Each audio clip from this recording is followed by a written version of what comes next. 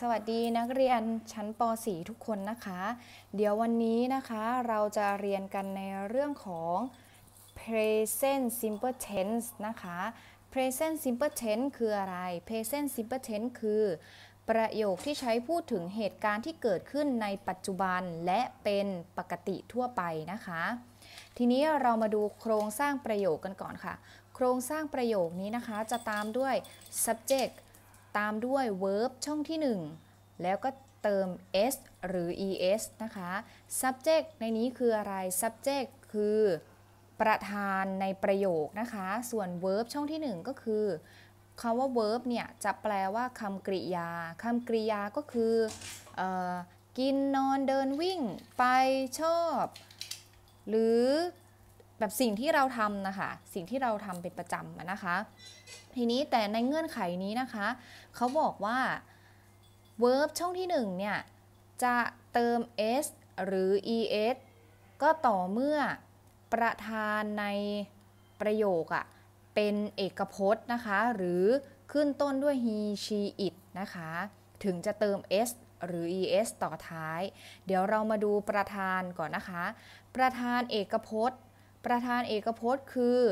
ประธานที่มีแค่ คนเดียว หรือ1สิ่ง หรือ1ตัวอย่างนี้นะคะ ก็คือพูดง่ายๆ ให้จำง่าย ๆ เลยก็คือเอกแปลว่า1นะคะ ประธานเอกพจน์ก็คือจะมีแค่คนเดียวนะคะ ทีนี้เรามาดูก่อนค่ะ he she it แล้วก็ a boy เนี่ย he แปลว่าเขาผู้ชายนะคะ she แปลว่าเขาที่เป็นผู้หญิงนะคะ it ก็แปลว่ามันที่ใช้เรียกแทนสิ่งของหรือสัตว์นะคะที่มีตัวเดียวนะคะ ส่วน a boy อะแปลว่า1นะคะ a boy จะเป็นเอกพจน์นะคะ ก็คือเด็กผู้ชายหนึ่งคนนะคะเนี่ยตามหลักก็คือประธานเหล่านี้นะคะเนี่ย he she it แล้วก็ที่ขึ้นต้นด้วยอะหรือแอนเนี่ย มันจะตามด้วย verb ช่องที่1 จะต้องเติม s หรือ es นะคะเนี่ยตรงกับเงื่อนไขที่เขาให้มานะคะ verb ช่องที่ 1 จะเติม s หรือ es ได้ก็ต่อเมื่อประธานเป็นเอกพจน์นะคะ ทีนี้เรามาดูตัวอย่างค่ะ เช่นคำว่า he นะคะ he คือประธานเอกพจน์นะคะ he go ปกติ go จะไม่มีอะไรเลยใช่ไหมคะ จะไม่เติม es เราเห็นคาว่า go ก็คือ go ธรรมดา he go to school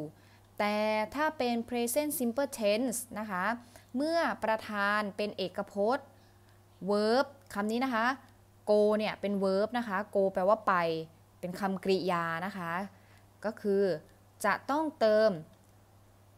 es ต่อท้ายนะคะ go คือ verb ช่องที่1นะคะ แล้วเราก็เติม es ลงไปนะคะ ก็จะเป็น he goes to school นะคะ ต่อไปประธาน คำนี้นะคะ Jack ชื่อคนหนึ่งคนก็เป็นประธานนะคะ Jack มีหนึ่งคนนะคะ Jack like ปกติ like เราเคยเห็นแต่แบบนี้นะคะ L I K E like จะไม่ได้เติม s นะคะ แต่นี้เข้าอยู่ในเงื่อนไขของ present simple tense นะคะ Jack คือประธาน like แปลว่าชอบ เป็นคำกริยา อยู่ในช่องที่1นนะคะ เป็น verb เนี่ย ก็เติม s ต่อท้ายได้เลย Jack likes science นะคะ ก็จะแปลว่าแจ็คชอบวิชาวิทยาศาสตร์นะคะ ต่อไปมาดูประธานอีกสักตัวค่ะ ถ้าประธานเป็นชีเห็นไหมคะเนี่ยประธานเหล่านี้นะคะชี drink อันนี้ไม่ยังไม่มี s นะคะ drink จะแปลว่าดื่มนะคะ she drink milk in the morning she drink milk in the morning อ่าประธานเป็นเอกพจน์ใช่ไหมคะ เงื่อนไข verb ช่องที่ 1 จะต้องเติม s หรือ es อ่าคำว่า drink เราจะเติม s ต่อท้ายได้เลยนะคะ ก็จะเป็น she drinks milk in the morning นะคะเเขาผู้หญิงคนนั้นอะดื่มนมทุกเช้าเลยอย่างนี้นะคะ ทีนี้ เรามาดูประธานพระหูพจน์ค่ะ ประธานพระหูพจน์จะแปลว่า ประธานที่ มีตั้งแต่ 2 ขึ้นไปนะคะ ไม่ว่าจะเป็น 2 คน 2 ตัว 2 แท่ง 2 คัน อะไรก็แล้วแต่นะคะ ที่มีตั้งแต่ 2 ขึ้นไปนะคะ แต่มันจะมีข้อยกเว้นนะคะ I กับ U เนี่ยจะอยู่ในข้อยกเว้นนะคะ ก็คือจะเป็นประธานพระหูพจน์นะคะ ถึงจะมีคนเดียวแต่มันเป็นข้อยกเว้นนะคะ มันจะกลายเป็นประธานพระหูพจน์นะคะ ทีนี้ประธานพระหูพจน์ I U V day หรือคำว่า two เห็นไหมคะ two ที่แปลว่า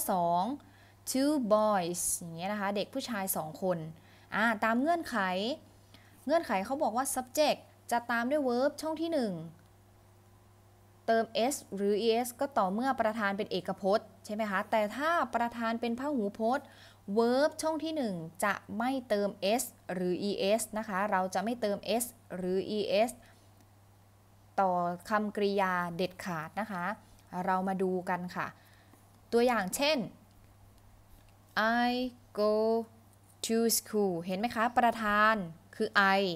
go เราจะไม่เติม s หรือ es เลยนะคะ เราจะไม่เติมอะไรเลย ก็จะเป็น I go to school ปกติเลยนะคะ ต่อไป ประธานอีกหนึ่งตัว we we แปลว่าพวกเรานะคะ we แปลว่าพวกเรา we like science we like science ก็จะแปลว่าพวกเราชอบวิชาวิทยาศาสตร์ เห็นไหมคะ ประธานเนี่ยมันไม่ใช่เอกพจน์นะคะ เป็นประธานพหูพจน์แปลว่าพวกเราพวกเรามีหลายคนนะคะคำกริยาคำนี้ verb คำนี้นะคะ ก็จะไม่เติม s หรือ es ต่อท้ายนะคะ ต่อไปอีกสักสองข้อนะคะ ตัวอย่าง two boys drink milk in the morning ตรงนี้เด็กๆอย่างงงนะคะ อันนี้ก็คือเป็นประธานนะคะ two boys แปลว่าเด็กผู้ชายสองคน drink จะเป็นจะเป็นคำกริยานะคะคำกริยาก็คือสิ่งที่เราทำก็คือกินนอนเดินวิ่งอย่างที่ครูโบบอกอะค่ะอ่าคำคำนี้นะคะจะเป็น verb คำที่ 1 จะเป็น verb ช่องที่ 1 นะคะ เราจะไม่เติมอะไรเลย เพราะว่าประธานเป็นพระหูพจน์นะคะ two boys drink milk in the morning เด็กผู้ชายสองคนนี้เขาดื่มนม ในตอนเช้านะคะ ก็ไม่เติม ต่อไปทีนี้เรามาดูเป็นชื่อคนบ้าง ถ้าชื่อคนหนึ่งคนอันนี้เราดูไปแล้ว ชื่อคนคนเดียวเป็นประธานเอกพจน์นะคะ เราจะต้องเติม s หลัง verb นะคะ ทีนี้ถ้าเป็นประธานสองคนล่ะ verb ช่องที่ 1 จะไม่เติม s หรือ es นะคะ เรามาดูอย่างเช่น Jack and Peter go to school Jack and Peter go to school Jack และปีเตอร์เห็นไหมคะ ไม่ได้มีแจ็คคนเดียวมีปีเตอร์ด้วย ฉะนั้น ประธานในประโยคนี้มี 2 คนนะคะ มีแจ็คกับปีเตอร์ ฉะนั้น verb ช่องที่ 1คำนี้นะคะ verb จะไม่เติม s หรือ es ต่อท้ายคำกริยานะคะ จะไม่เติมอะไรต่อท้ายลงไปเลยนะคะ ทีนี้ เด็กๆอาจจะสงสัยนะคะว่าครูคะทำไมคำนี้ทำไมถึงเติม es ทำไมคำนี้เติมแค่ s เติมแค่ s เดี๋ยวครูจะมีหลักการเติม s หรือ es ให้เด็กๆได้ศึกษานะคะ เด็กๆจะต้องจำนะคะ ว่าคำไหนบ้างที่เราจะต้องเติม s ลงไปได้เลย หรือคำไหนที่เราจะต้องเติม es ลงไปนะคะ เดี๋ยวเราไปดูกันได้เลยค่ะ เรามาดูกฎการเติม ses ที่คำกริยาค่ะ ข้อที่ 1 เติม s หลังคำกริยาปกติทั่วไป และอย่าลืมนะคะ ประธานต้องเป็น he she it a boy Tom เป็นประธานเอกพจน์เท่านั้นนะคะ มาดูตัวอย่างคำกริยากันนะคะ ตัวอย่างคำกริยาค่ะ come comes แปลว่ามา cut cuts ตัด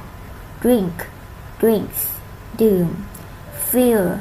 feels รู้สึก eat eats กิน swim